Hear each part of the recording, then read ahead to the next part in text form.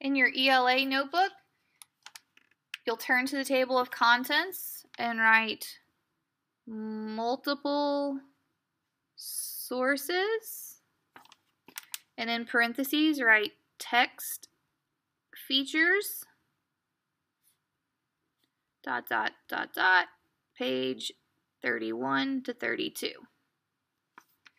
Then you are going to turn to page 31. You're going to glue this page down. Make sure you write page 31 wherever you are keeping up with your page numbers. And then turn to page 32. Glue this page down and write page 32 wherever you are keeping up with your page numbers. So this week and next week we are going to look at getting information from multiple sources.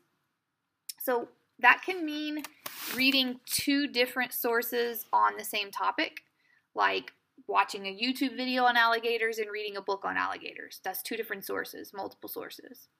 It can also mean using different sources within the same text to get information from. For example, if you had a book about alligators, you could get information from a glossary. Captions by pictures is always a great source of um, information that a lot of kids just skip over. Okay, you captions are important to pictures. Um, headings to different sections in the book. That's a good place to get um, information. Diagrams. You see a lot of diagrams in sec- in science text, and the diagrams show you how things work. Um, let's see.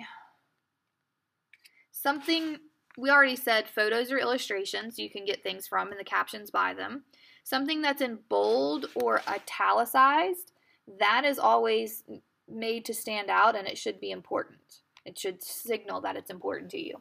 Those are the ones that you see most often in um, in a social studies text. You'll probably see something like a timeline. Um, You'll also see maps in social studies texts. In most texts, you have indexes, glossaries, and uh, table of contents. We even have a table of contents in ours. Now, I'm not going to go through and read each of these to you. You can read each of them on your own on page 31 and 32 and just be prepared to use them in our workbook pages this week. Be prepared to find all the different text features to get information from all those different sources. Now, in your word study book, you're going to glue down, this is not word study, but in your word study book, you are going to glue down um, this page for unit 16.